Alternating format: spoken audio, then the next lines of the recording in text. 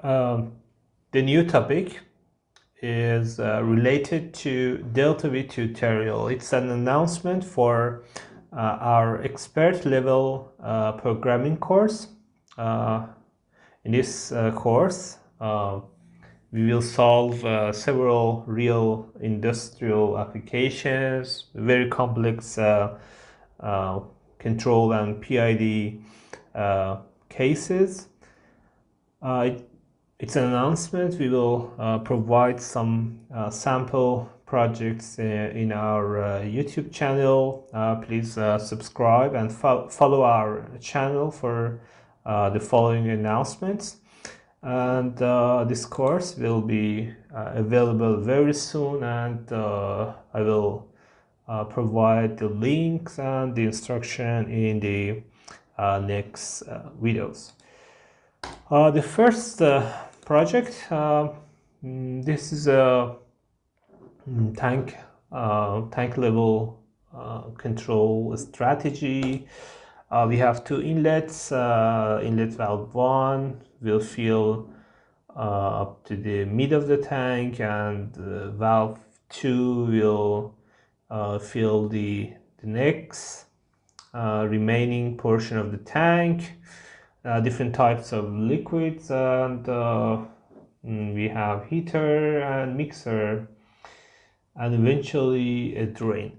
Uh, the program is developed in uh, SFC if you uh, want to create a new uh, control module in Delta V you can select the FBD that's the default programming language or uh, sequential function chart SFC.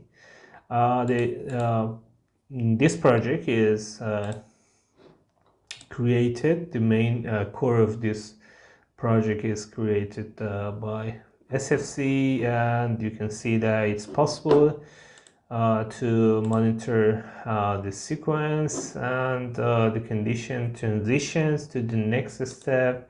We are in the filling filling of uh, inlet uh, inlet B. And now we are in uh, heating process. The heater is on and then after the condition is um, fulfilled we will move to the next. And we are in the this transition T5 after the transition condition is met we are in the draining. And the, there is also a uh, um, condition to uh, restart the uh, this cycle. Uh, in this um, example, uh, the level when the level is getting uh, zero, uh, we have the condition to restart the whole process.